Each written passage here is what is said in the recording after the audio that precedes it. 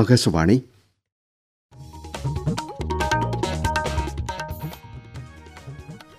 നമസ്കാരം. പ്രാദേശിക വാർത്തകൾ വായിക്കുന്നത് അനിൽ ചന്ദ്രൻ. പ്രധാന വാർത്തകൾ.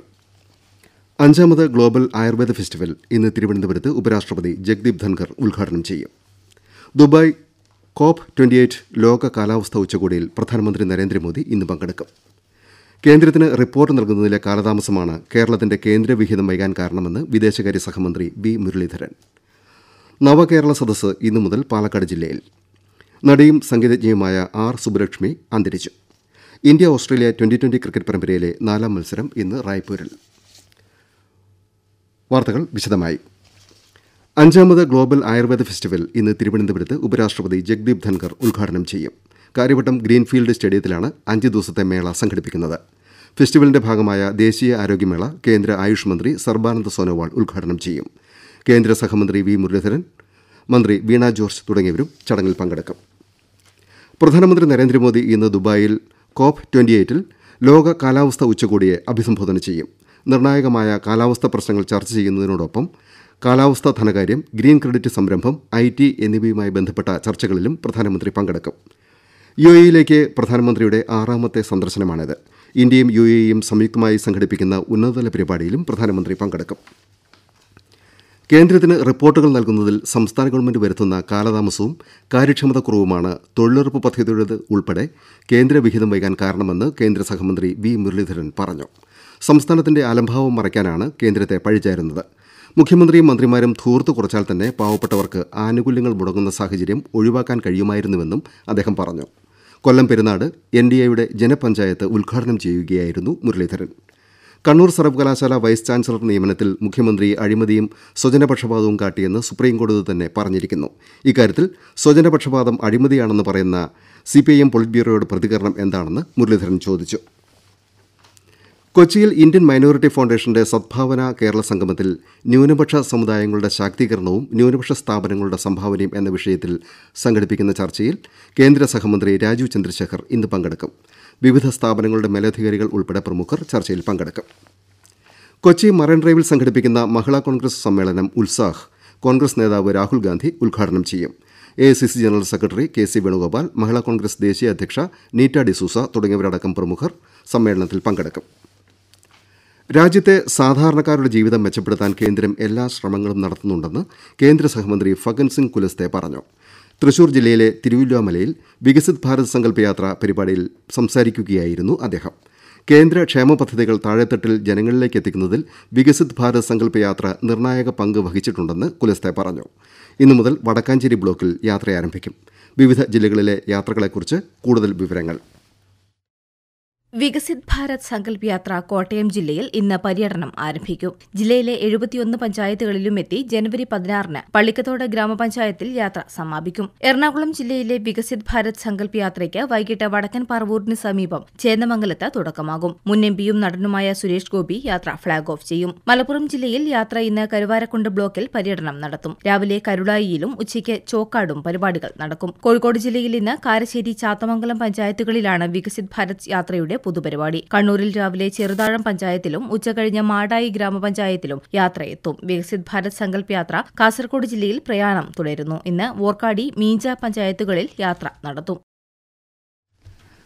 പ്രധാനമന്ത്രി ഉജ്ജ്വൽ യോജനയിലൂടെ രാജ്യത്ത് ഇതുവരെ ഒൻപത് കോടി എൺപത്തിരണ്ട് ലക്ഷത്തിലേറെ പേർക്ക് സൗജന്യ പാചക വാതകവും ഗ്യാസ് സ്റ്റൗവും നൽകി. വികസിത് ഭാരത് സങ്കല്പ യാത്രയിലും ഗ്യാസ് കണക്ഷൻ വിതരണം ചെയ്യുന്നുണ്ട്. ആകാശവാണി കണ്ണൂർ ജില്ലാ പ്രതിനിധി കെ ഒ ശശിധരൻ. വിറകടുപ്പിൽ പുകയും പൊടിയും ശ്വസിച്ചു കഴിയുന്ന വീട്ടമ്മമാരെ സഹായിക്കാനായി രണ്ടായിരത്തി പതിനാറ് മെയ് ഒന്നിന് കേന്ദ്ര ഗവൺമെന്റ് നടപ്പാക്കിയ പദ്ധതിയാണ് Pradhan Mantri Ujjwala Yojana. B P L കുടുംബത്തിൽപ്പെട്ട സ്ത്രീകൾക്കാണ് ഈ പദ്ധതിയുടെ ഗുണഭോക്താക്കളാവാൻ സാധിക്കുക. കണ്ണൂർ എരമം സ്വദേശിനി നളിനിക്ക് വികസിത് ഭാരത് സങ്കല്പ യാത്രാ വേദിയിൽ വെച്ചാണ് പാചകവാതക സിലിണ്ടറും അടുപ്പും റെഗുലേറ്ററും ലഭിച്ചത്. ഞാൻ സ്ഥിരം കൂലിപ്പണിയെടുത്ത് ജീവിക്കുന്നതാണ്. ഇത്രകാലം ഗ്യാസ് ഒന്നും ഉണ്ടായിട്ടില്ല. ഗ്യാസ് വാങ്ങേണ്ട ആ ഒരു സിറ്റുവേഷനും ഒത്തിട്ടില്ല. ഇപ്പോ ഇങ്ങനെ ഒരു സിറ്റുവേഷൻ ഒത്തു. ഇപ്പൊ ഹോട്ടലിൽ പണിയെടുക്കുന്നത് കൊണ്ട് ഗ്യാസ് കത്തിച്ചിട്ടൊക്കെ പരിചയമുണ്ട്. പ്രധാനമന്ത്രിയുടെ ഒരു ഇത് കിട്ടിയത് കൊണ്ട് പുകയും പൊടിയൊന്നും കൊള്ളാണ്ട് വിറകിനലഞ്ഞ് നടക്കണ്ട. കൂടുതൽ ഗുണഭോക്താക്കളെ കണ്ടെത്തി ഉജ്ജ്വല യോജനയിലൂടെ പാചകവാതക കണക്ഷൻ നൽകാനുള്ള ശ്രമത്തിലാണ് അധികൃതർ. പ്രാദേശിക വാർത്തകളാണ് കേൾക്കുന്നത്. നവകേരള സദസ്സ് മലപ്പുറം ജില്ലയിലെ പതിനാറ് മണ്ഡലങ്ങളിലെയും പര്യടനം പൂർത്തിയാക്കി. തെളിമയാർന്ന നിലപാടുകളുമായി മുന്നോട്ടു പോകുന്ന ജനകീയ ഗവൺമെന്റിന് ലഭിക്കുന്ന പിന്തുണയാണ് സദസ്സുകളിൽ കാണുന്ന വൻ ജനപങ്കാളിത്തമെന്ന് മുഖ്യമന്ത്രി പിണറായി വിജയൻ പെരിന്തൽമണ്ണയിൽ പറഞ്ഞു. നവകേരള സദസ്സ് ഇന്ന് മുതൽ മൂന്ന് ദിവസം പാലക്കാട് ജില്ലയിലെ മണ്ഡലങ്ങളിൽ സംഘടിപ്പിക്കും. രാവിലെ തൃത്താല ചാലിശ്ശേരിയിലാണ് ആദ്യ പരിപാടി. തുടർന്ന് പട്ടാമ്പി ഷൊർണൂർ ഒറ്റപ്പാലം മണ്ഡലങ്ങളിലും സദസ്സ് നടക്കും. നവകേരള സദസ്സിന്റെ പൊള്ളത്തരം ജനങ്ങളെ ബോധ്യപ്പെടുത്താൻ യു ഡി എഫിന്റെ വിചാരണ സദസ് നാളെ ആരംഭിക്കും. A I C C general secretary K C Venugopal സംസ്ഥാനതല പരിപാടി മമ്പറത്ത് ഉദ്ഘാടനം ചെയ്യും. കേരളത്തിന്റെ യഥാർത്ഥ ചിത്രം ജനങ്ങൾക്ക് മുന്നിൽ വ്യക്തമാക്കുന്ന കുറ്റപത്രം സദസ്സിൽ അവതരിപ്പിക്കുമെന്ന് കണ്ണൂർ ജില്ലാ യു ഭാരവാഹികൾ അറിയിച്ചു. നടിയും സംഗീതജ്ഞയുമായ ആർ സുബലക്ഷ്മി തിരുവനന്തപുരത്ത് അന്തരിച്ചു. അവർക്ക് എൺപത്തിയേഴ് വയസ്സായിരുന്നു. കുട്ടിക്കാലം മുതൽ കലാരംഗത്ത് സജീവമായിരുന്ന അവർ ആയിരത്തി തൊള്ളായിരത്തി അൻപത്തിയൊന്നിൽ ദക്ഷിണേന്ത്യയിലെ ആദ്യ ആകാശവാണി വനിതാ കമ്പോസറായി. നീണ്ടകാലം സംഗീത അധ്യാപികയായിരുന്നു. രഞ്ജിത്ത് സംവിധാനം ചെയ്ത നന്ദനം എന്ന ചിത്രത്തിലൂടെ സിനിമാ രംഗത്തെത്തിയ സുബലക്ഷ്മി നിരവധി ചിത്രങ്ങളിൽ മുത്തശ്ശി വേഷങ്ങളിലൂടെ ജനശ്രദ്ധ നേടി. Kalyanaraman Thilakkam Pandippada C I D Moosa sound Thoma Koothara Pranayakatha Seetha Kalyanam one Rani Padmini തുടങ്ങി എഴുപതോളം മലയാള ചിത്രങ്ങളിൽ അഭിനയിച്ചിട്ടുണ്ട്. മുൻ മന്ത്രിയും മുതിർന്ന കോൺഗ്രസ് നേതാവുമായിരുന്ന പി സിറിയക് ജോൺ കോഴിക്കോട്ട് അന്തരിച്ചു. അദ്ദേഹത്തിന് തൊണ്ണൂറ് വയസ്സായിരുന്നു. കൽപ്പറ്റ മണ്ഡലത്തിൽ നിന്നാണ് ആദ്യമായി നിയമസഭയിലെത്തിയത്.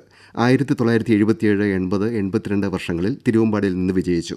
എൺപത്തിരണ്ട് എൺപത്തിമൂന്ന് കാലഘട്ടത്തിൽ കെ കരുണാകരൻ മന്ത്രിസഭയിൽ കൃഷിമന്ത്രിയായിരുന്നു. എൻ സി പിയിൽ ചേർന്നെങ്കിലും പിന്നീട് കോൺഗ്രസിൽ തിരിച്ചെത്തി നീണ്ടകാലം കെ പി സി സി നിർവാഹക സമിതി അംഗമായി. കർഷക കോൺഗ്രസ് സംസ്ഥാന പ്രസിഡന്റായും പ്രവർത്തിച്ചു. ഭൗതിക ശരീരം രാവിലെ കോഴിക്കോട് ടൗൺ ഹാളിൽ പൊതുദർശനത്തിന് വയ്ക്കും. തുടർന്ന് കട്ടിപ്പാറയിലെത്തിച്ച് വൈകിട്ട് ഹോളി ഫാമിലി ചർച്ച് സെമിത്തേരിയിൽ സംസ്കരിക്കും. സിറിക് ജോണിന്റെ നിര്യാണത്തിൽ K P C C president K Sudhakaran മുതിർന്ന നേതാക്കളായ A K Antony Ramesh Chennithala K Muraleedharan M K Raghavan തുടങ്ങിയവർ അനുശോചിച്ചു. India Australia twenty twenty cricket പരമ്പരയിലെ നാലാം മത്സരം ഇന്ന് റായ്പൂരിൽ. ഷഹീദ് വീർ നാരായൺ സിംഗ് അന്താരാഷ്ട്ര ക്രിക്കറ്റ് സ്റ്റേഡിയത്തിൽ വൈകിട്ട് ഏഴിനാണ് മത്സരം. രണ്ട് മത്സരങ്ങൾ ജയിച്ച് ഇന്ത്യ മുന്നിട്ട് നിൽക്കുകയാണ്. ഐ എസ് എൽ ഫുട്ബോളിൽ ബാംഗ്ലൂരുവിൽ Bangalore F C Punjab F C മത്സരം സമനിലയിൽ ഇരു ടീമുകളും മൂന്ന് ഗോൾ വീതം നേടി. ഇന്ന് Jamshedpur S F C Odisha F സിയെ നേരിടും. രാത്രി എട്ടിന് ജംഷഡ്പൂരിലാണ് മത്സരം. കർഷകരിൽ നിന്ന് സംഭരിച്ച നെല്ലിന്റെ വില പി ആർ എസ് വായ്പയായി നൽകുന്ന നടപടി ഊർജിതമാക്കണമെന്ന് മന്ത്രി ജി ആർ അനിൽ ആവശ്യപ്പെട്ടു. ഓൺലൈനായി ചേർന്ന യോഗത്തിലാണ് മന്ത്രിയുടെ നിർദ്ദേശം.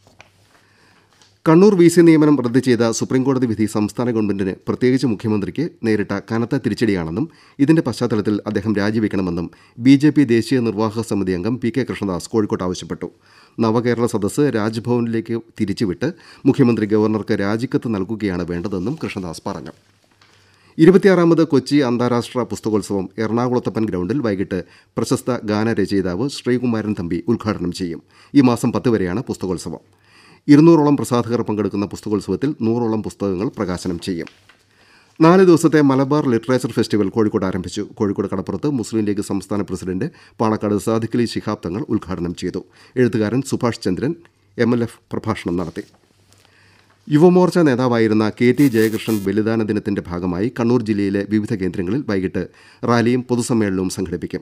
തലശ്ശേരിയിൽ ബി ജെ പി ദേശീയ നിർവാഹക സമിതി അംഗം പി കെ കൃഷ്ണദാസും മട്ടന്നൂരിൽ സംസ്ഥാന വൈസ് പ്രസിഡന്റ് ശോഭാ സുരേന്ദ്രനും കണ്ണൂർ പള്ളിക്കുളത്ത് ബി ജെ പി സംസ്ഥാന ജനറൽ സെക്രട്ടറി എം ടി രമേശും സമ്മേളനം ഉദ്ഘാടനം ചെയ്യും.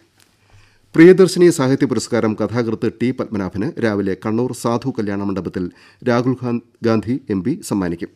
K P C C president K Sudhakaran അധ്യക്ഷനാകുന്ന ചടങ്ങിൽ A C C general secretary K C Venugopal പ്രതിപക്ഷ നേതാവ് വി ഡി സതീശൻ ചലച്ചിത്ര സംവിധായകൻ അടൂർ ഗോപാലകൃഷ്ണൻ തുടങ്ങിയവർ പങ്കെടുക്കും. നെടുമ്പാശ്ശേരി വിമാനത്താവളത്തിലെ ഫാസ്ടാഗ് പ്രവേശനവും ഡിജിറ്റൽ പാർക്കിംഗ് സംവിധാനവും ഇന്ന് നിലവിൽ വരും. എൻട്രി എക്സിറ്റ് കവാടങ്ങളിൽ വാഹനങ്ങൾ കടന്നു പോകാനെടുക്കുന്ന സമയം ശരാശരി എട്ട് സെക്കൻഡായി കുറയ്ക്കാൻ ഇതിലൂടെ സാധിക്കുമെന്ന് സിയാൽ അറിയിച്ചു. പ്രധാന വാർത്തകൾ വീണ്ടും.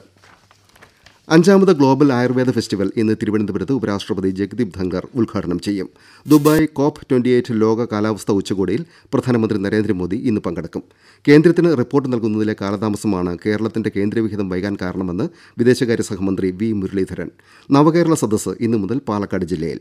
നടിയും സംഗീതജ്ഞയുമായ ആർ സുബലക്ഷ്മി അന്തരിച്ചു. India Australia twenty twenty cricket പരമ്പരയിലെ നാലാം മത്സരം ഇന്ന് റായ്പൂരിൽ. പ്രാദേശിക വാർത്തകൾ കഴിഞ്ഞു. അടുത്ത വാർത്താ ബുള്ളറ്റിൻ ഏഴ് ഇരുപത്തിയഞ്ചിന്.